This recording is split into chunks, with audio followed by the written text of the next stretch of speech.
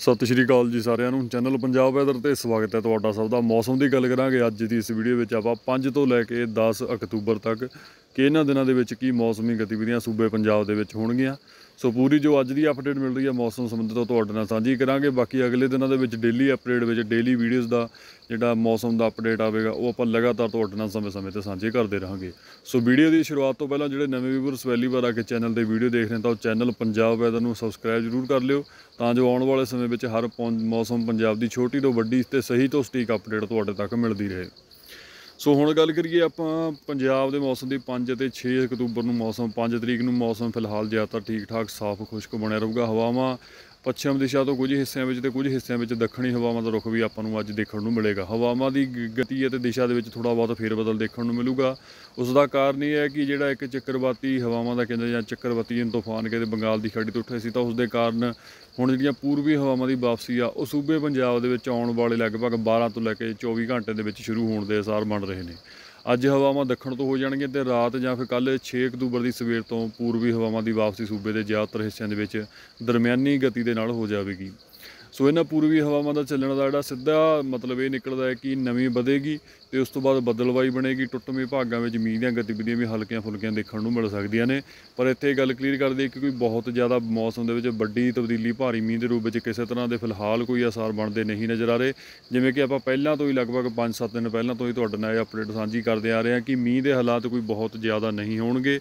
ਸੋ ਫਾਲਤੂ ਦੀਆਂ ਜਿਹੜੀਆਂ ਦੇਖ ਰਹੇ ਹਾਂ ਕਿ ਸੋਸ਼ਲ ਮੀਡੀਆ ਤੇ ਚੱਲ ਰਹੀਆਂ ਨੇ ਕਿ ਵਾਹ ਕਿ ਬਹੁਤ ਜ਼ਿਆਦਾ ਭਾਰੀ ਵੀ ਹੈ ਤੂਫਾਨ ਆ ਰਿਹਾ ਹੈ।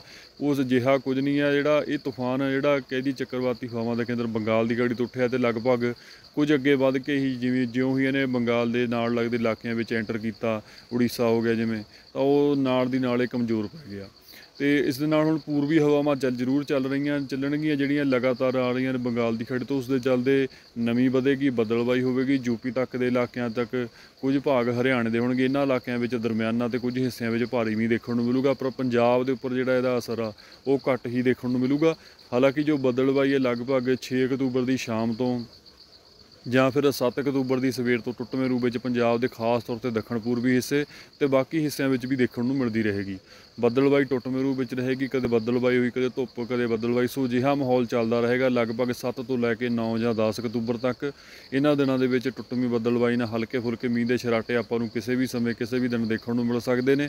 ਮੀਂਹ ਹਾਲਾਂਕਿ ਜਿਹੜਾ ਕੋਈ ਜ਼ਿਆਦਾ ਨਹੀਂ ਹੋਵੇਗਾ, ਹਲਕੇ ਤੋਂ ਲੈ ਕੇ ਦਰਮਿਆਨੇ ਪੱਧਰ ਦਾ ਜਿਹੜੇ ਛੋਟੇ ਸਪੈਲ ਦੇਖਣਗੇ, ਕੁਝ ਹਿੱਸਿਆਂ ਵਿੱਚ ਕਿਣਮਿਣ ਹੋਵੇਗੀ ਤੇ ਮੀਂਹ ਦੇ ਅਸਾਰ ਵੀ ਸਾਰੇ ਪੰਜਾਬ ਵਿੱਚ ਨਹੀਂ ਹੋਣਗੇ। ਟੁੱਟਵੇਂ ਰੂਪ ਵਿੱਚ ਲਗਭਗ 30 ਤੋਂ ਲੈ ਕੇ 50% ਇਲਾਕਿਆਂ ਵਿੱਚ ਬੱਦਲਬਾਈ ਨੇੜੇ ਮੀਂਹ ਦੀਆਂ ਗਤੀਵਿਧੀਆਂ ਦੇਖਣ ਨੂੰ ਮਿਲ ਸਕਦੀਆਂ ਨੇ। ਪਰ ਜਿਹੜੇ ਖਾਸ ਪੰਜਾਬ ਦੇ ਪੂਰਬੀ ਤੇ ਕੁਝ ਦੱਖਣੀ ਇਲਾਕੇ ਹੋਣਗੇ ਜਾਂ ਜ਼ਿਲ੍ਹੇ, ਉਹਨਾਂ ਵਿੱਚ ਹੋ ਸਕਦਾ ਕਿ ਥੋੜਾ ਜਿਹਾ ਦਰਮਿਆਨਾ ਮੀਂਹ ਇੱਕ ਦੋ ਭਾਗਾਂ ਵਿੱਚ ਦੇਖਣ ਨੂੰ ਮਿਲ ਸਕਦਾ ਹੈ। ਉਸ ਤੋਂ ਬਿਨਾਂ ਬਾਕੀ ਪੰਜਾਬ ਦੇ ਵਿੱਚ ਟੁੱਟਵੀਂ ਬੱਦਲਬਾਈ ਨਾਲ ਟੁੱਟਵੀਆਂ ਮੀਂਹ ਦੀਆਂ ਗਤੀਆਂ ਹੀ, ਗਤੀਵਿਧੀਆਂ ਹੀ ਦੇਖਣ ਨੂੰ ਮਿਲਣਗੀਆਂ। ਤੇ ਜੋ ਪੂਰਬੀ ਹਵਾਵਾਂ ਹੋਣਗੀਆਂ ਲਗਭਗ 8 ਅਕਤੂਬਰ ਦੇ ਆਸ-ਪਾਸ ਤੱਕ ਚੱਲਦੀਆਂ ਰਹਿਣਗੀਆਂ। ਉਸ ਤੋਂ ਬਾਅਦ 8 ਜਾਂ 9 ਅਕਤੂਬਰ ਦੇ ਆਸ-ਪਾਸ ਤੋਂ ਹਵਾਵਾਂ ਦੀ ਦਿਸ਼ਾ ਇੱਕ ਵਾਰ ਫਿਰ ਬਦਲਣੀ ਸ਼ੁਰੂ ਹੋਵੇਗੀ। ਤੇ ਬਾਕੀ ਅਗਲੇ ਦਿਨਾਂ ਦੀ ਅਪਡੇਟ ਫਿਰ ਤੁਹਾਡੇ ਨਾਲ ਸਾਂਝੀ ਕਰਦੇ ਰਹਾਂਗੇ ਹੁਣ ਆਪਾਂ ਸੰਖੇਪ ਵਿੱਚ ਕਹਿ ਸਕਦੇ ਹਾਂ ਕਿ 5-6 ਨੂੰ ਮੌਸਮ ਫਿਲਹਾਲ ਠੀਕ ਰਹੂਗਾ। 6 ਦੀ ਸ਼ਾਮ ਜਾਂ ਫਿਰ 7 ਅਕਤੂਬਰ ਦੀ ਸਵੇਰ ਦੇ ਆਸ-ਪਾਸ ਤੋਂ ਮੌਸਮ ਥੋੜਾ ਜਿਹਾ ਬੱਦਲਬਾਈ ਵਾਲਾ ਹੋ ਜਾਵੇਗਾ, ਜਿਹੜਾ ਕਿ ਲਗਭਗ 7 8 ਤੇ 9 ਜਾਂ 10 ਅਕਤੂਬਰ ਤੱਕ ਵੀ ਲਗਭਗ ਇਸ ਤਰ੍ਹਾਂ ਟੁੱਟਵੇਂ ਬੱਦਲਾਂ ਦੀ ਆਵਾਜਾਈ ਮੀਂਹ ਦੇ ਹਾਲਾਤ ਪੰਜਾਬ ਦੇ ਕੁਝ ਹਿੱਸਿਆਂ ਵਿੱਚ ਬਣਦੇ ਰਹਿਣਗੇ।